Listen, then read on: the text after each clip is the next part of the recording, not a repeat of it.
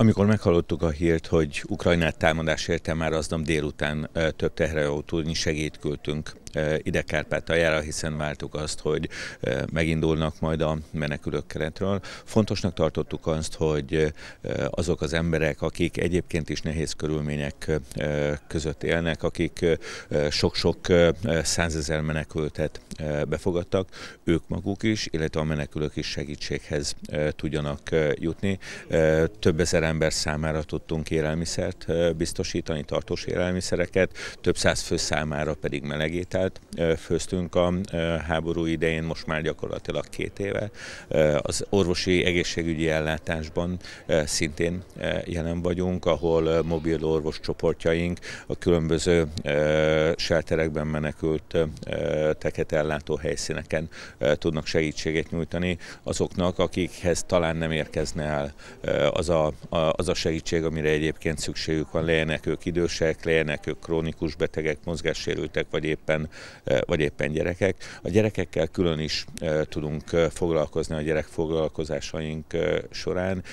illetve szeretnénk mentálhigién és pszichoszociális segítséget nyújtani mindazoknak, akik nyitottak arra, hogy beszéljenek arról a szörnyűségről, amit a háború jelentett az életükben. Azt látjuk, hogy több olyan helyszín van, ahol menekültek élnek, amik viszonylag távol vannak azoktól a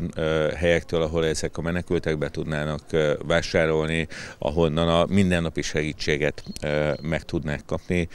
Sokan vannak, akik kifejezetten idősek, vagy esetleg gyermekeiket egyedül nevelő anyák. Ők különösen kitettek ennek a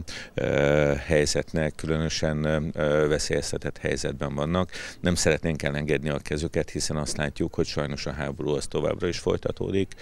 Azt látjuk, hogy Ukrajnán és az itt élő magyarokon egyre nagyobb a nyomás, és fontos számunkra az, hogy egyrészt fizikai segítséget nyújtsuk, másrészt pedig kifejezzük azt, hogy mi a baptista szeretett szolgálat, más segélyszervezetekkel együtt, mi magyarok itt vagyunk, és támogatást szeretnénk nyújtani, kiállunk mellettük. Nagyon örülünk annak, hogy mind a határainkon belül, mind a határainkon túl számos magánszemély cég szervezet volt az, aki segítséget szeretett volna nyújtani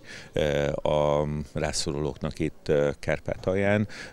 Az az amerikai csapat, aki most érkezik, ők már több orvoscsoportot küldtek, több mobil orvoscsoporttal tudtak szolgálni a különböző segélyhelyeken, illetve anyagi támogatást nyújtottak ahhoz, hogy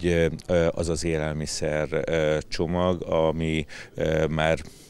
immáron két éve segítséget nyújt itt ezen a menekült szálláshelyen,